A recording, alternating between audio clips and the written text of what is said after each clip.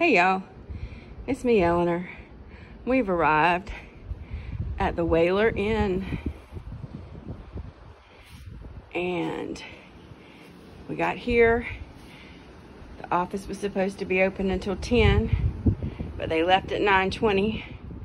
Nearly gave us heart failure. This is our room C18 on the very end of the top floor. And this is a much older place, but does appear to be clean. There's a kitchenette.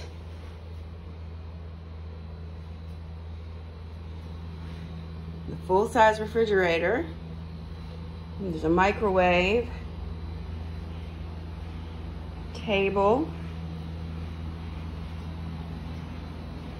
Television. And there is a nice balcony out here.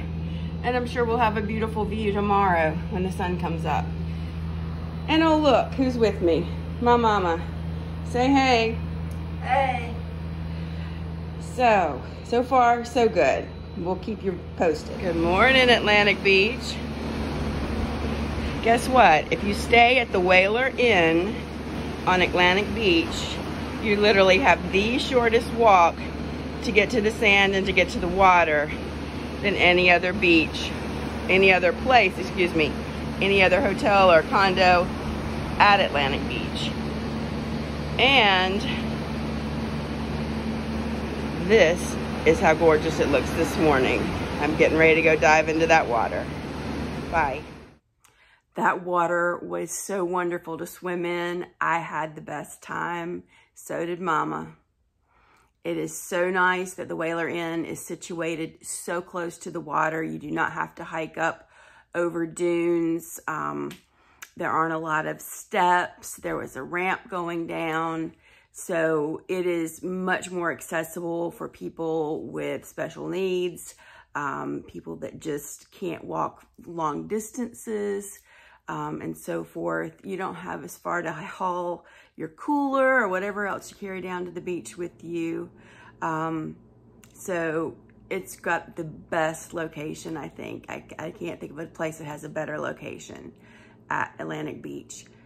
Um, it is an older property. It's, it's old.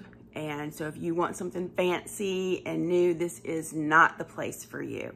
But if you don't mind an older property and very simple decor, you'll like the Whaler Inn. I highly recommend it. I will be going back there and look forward to it. I will give you a couple of tips. Um, if you are going, especially in the evening, call and, and keep in touch with the person there in the office to make sure you know what time they'll be leaving. And if you're going to be arriving after that, they'll make arrangements for you to get into your room. Um, we made the mistake of not calling. We got to the beach and we were hungry, so we went to get something to eat and so forth. Um, so yeah, touch base with them and let them know what time you're going to be arriving and uh, whether or not they'll still be there in the office or not.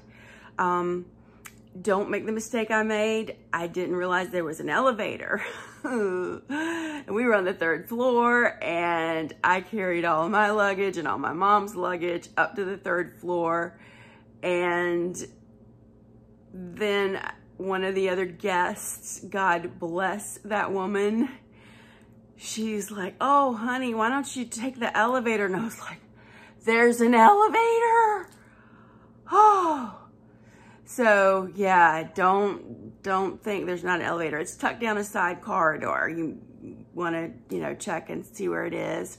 But yes, there's an elevator and um, if you are using GPS to get there, um, I put in the address and it took me all over and did not take me to the Whaler Inn. But when I said take me to the Whaler Inn at Atlantic Beach, then the directions were perfect and took us right in. It is a little hard to see at night. Um, you know, if you blink, you could miss it. So I do recommend using your GPS and telling it to take you to the Whaler Inn. Um, and that should do the trick.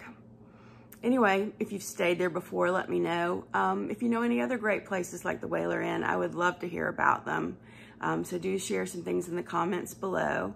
And if you enjoyed the video, please give it a thumbs up and uh, maybe send it to someone, maybe share it.